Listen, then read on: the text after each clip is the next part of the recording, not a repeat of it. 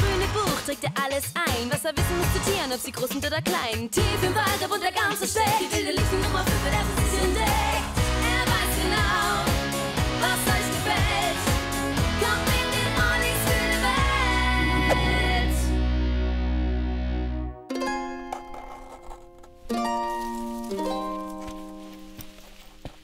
Hey Tüftel, alles klar? Ja, sicher. Was machst du da? Ich wandle, wie es in der alten Zeit üblich war, auf den Spuren großer Wissenschaftler und schreibe mein Lebenswerk, die Enzyklopädia Tüftelensis. Enzi, was? Enzyklopädia Tüftelensis, ein umfangreiches Werk über alle bekannten und weniger bekannten Tierarten. Aha, sowas wie mein grünes Buch. Ja, ein bisschen, aber mein Werk wird noch viel umfassender. Es wird ein, ein wissenschaftliches Glanzstück. Jetzt mach aber mal halblang. Tüftel, du weißt doch gar nichts über Tiere. In der Zeit mit dir habe ich genug gelernt. Jetzt zum Beispiel beschreibe ich gerade die Entstehung der Schildkröte. Und wie ist sie deiner Meinung nach entstanden? Die Gattung der Schildkröte entstand vor Millionen Jahren in den Untiefen der Meere als Meeresschildkröte. Weil es ihr dort aber zu nass war, kroch sie schließlich an Land. Das ist doch Quatsch, Tüftel. Es war umgekehrt. Die Landschildkröten gingen irgendwann ins Meer. Das steht doch so in meinem grünen Buch. Warte mal. Da bin ich aber gespannt. Und? Was steht da? Hm? Ähm. Da steht nichts. Das Kapitel Meeresschildkröte habe ich noch gar nicht geschrieben. Na bitte, Ja, trotzdem. Die Landschildkröte ging ins Meer. beweise es. Das werde ich tun. Und ich weiß auch schon wo. Im Sea Life in Konstanz, Tüftel. Bis gleich. Hm? Äh, Wow, das ist ja super hier, wie im Pazifik. Oh, hey, ha, ein Hai. Oh, den kenne ich. Die schwarzen Spitzen, das muss ein Schwarzspitzenriffhai sein. Und ein Rochen. Oh, wusstet ihr, dass Rochen und Haie miteinander verwandt sind? So ein Rochen ist quasi ein plattgedrückter Hai. Aber äh, wo sind die Schildkröten?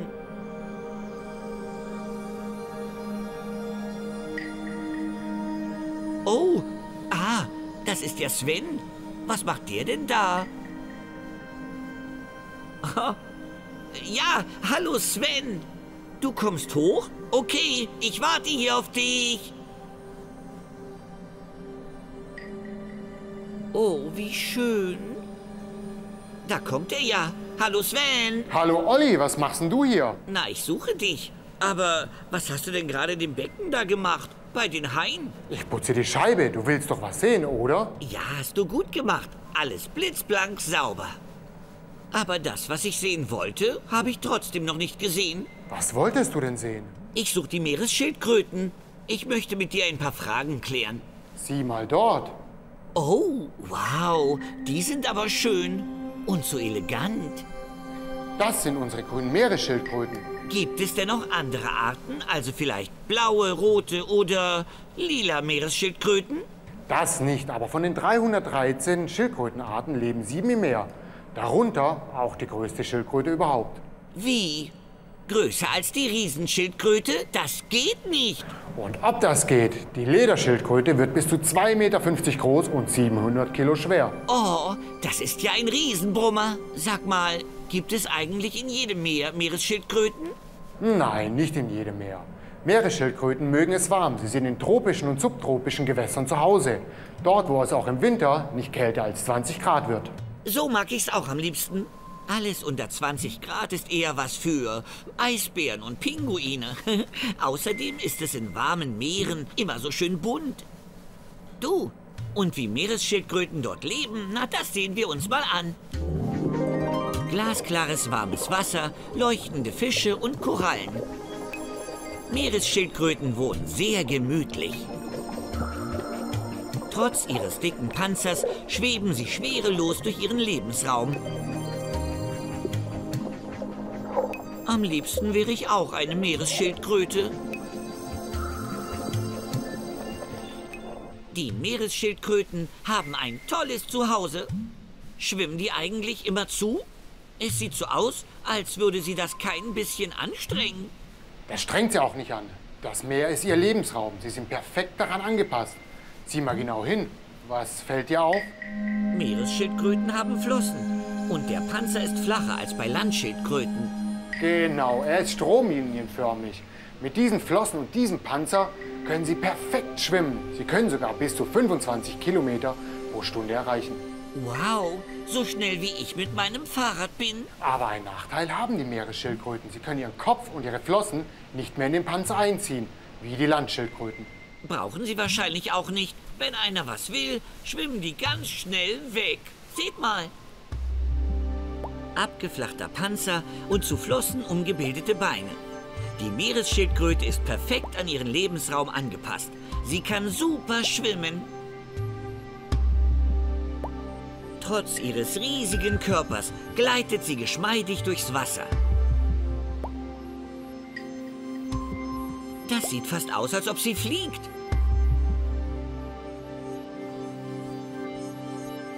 Die bleiben ja ewig unter Wasser. Haben die Kiemen wie Fische? Nein, um Luft zu holen, müssen sie an die Wasseroberfläche. Aber sie können bis zu fünf Stunden lang tauchen. Fünf Stunden ohne Luft zu holen? Ob ich das auch kann? Warte mal.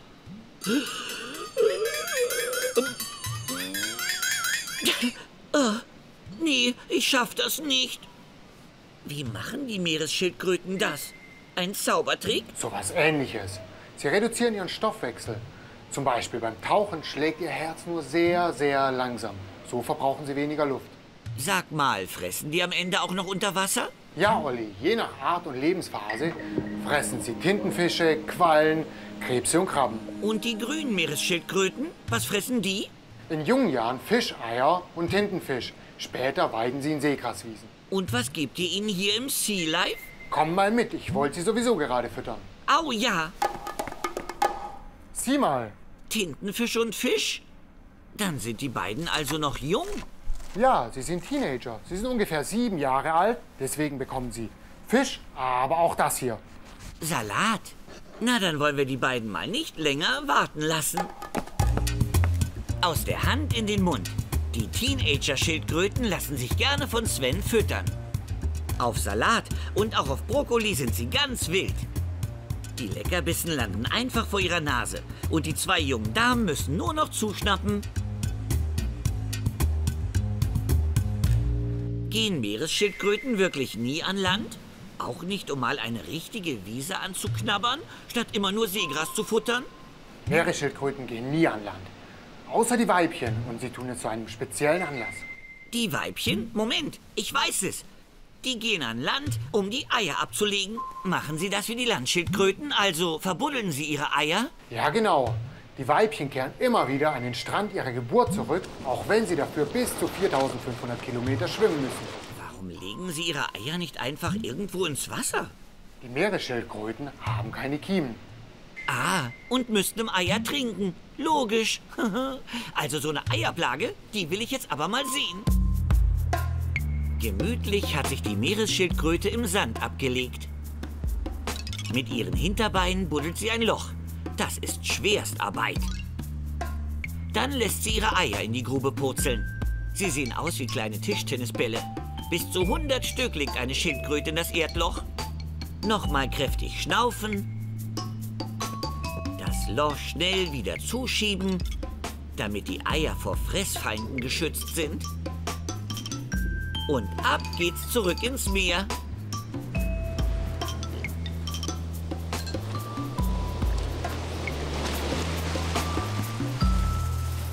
Sag mal, Sven, die Schildkröte geht einfach wieder. Wer brütete dann die Eier aus? Das macht die Sonne. Und das macht sie gut. Sie ist auch dafür verantwortlich, ob es mehr Männchen oder mehr weibliche Schildkröten gibt. Bitte was? Wenn es kühler ist, werden es mehr männliche Schildkröten. Wenn es wärmer ist, werden es mehr weibliche Schildkröten. Das ist bei den meisten Echsen so. Toll. Aber wenn die Kleinen geschlüpft sind, was machen die dann? Die sind ja unter der Erde. Da wartet in der Tat ein ganz großes Stück Arbeit auf Sie. Sie müssen sich erst freibuddeln. Das kann zwischen zwei und vier Tagen dauern. Puh. Und dann geht's zurück ins Meer. Gruselnder Haufen frisch geschlüpfter Schildkröten. Jetzt aber schnell ins Wasser. Mit ganzer Kraft quälen sich die kleinen Krabbeltiere aus dem Loch. Dann strampeln sie sich ab auf dem langen Weg zum Meer. Na, du kleines Schildkrötenbaby, du schaffst es. Hey, wartet auf mich. Juppie, die erste hat es geschafft. Ab in die Wellen. Die kleinen Krabbeldinger sind wahnsinnig süß. Aber auch wahnsinnig verletzlich. Von 1000 Eiern erreicht nur eine Schildkröte das Erwachsenenalter. Das ist aber nicht gerade viel. Die Kleinen haben viele Feinde. Erst die Nesträuber und später Vögel, Krebse und Raubfische. Die machen alle Jagd auf die Kleinen. Aber wenn die Meeresschildkröten groß sind, sind sie dann sicher mit ihrem Panzer? Wenn sie groß sind, haben sie nur noch zwei Feinde. Den Menschen und den Tigerhai. Aber ich nehme an, sie stehen unter Naturschutz. Natürlich, es ist strengstens verboten, Meeresschildkröten zu töten. Ha, zum Glück. Du Sven, ich glaube, ich weiß jetzt alles. Ha, uh, stopp! Eine Frage habe ich noch. Welche? Wer war zuerst da?